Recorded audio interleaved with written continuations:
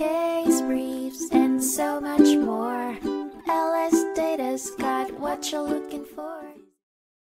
At the heart of the high profile case, American Universal Insurance v. Falzone, was the devastation caused by a fire that tragically engulfed a house in 1976, an incident the insurance companies alleged was the result of arson. The appellee insurance companies, firmly maintaining that the fire was deliberately started, set out to acquire an official declaration that they were not liable for the loss. While a verdict of arson was reached, the maelstrom of legalities surrounding the case were far from concluded. The appellant vehemently opposed this conclusion, asserting that critical errors infiltrated the district court's processes, ultimately distorting the outcome. Central to the appellant's appeal was the district court's decision to admit testimony by a fire expert, Ricker, who asserted the fire was of human origin. The appellant argued that Ricker's conclusion rested partly on secondhand information from his fellow fire marshals that was not officially part of the evidence. Furthermore, they disputed a jury instruction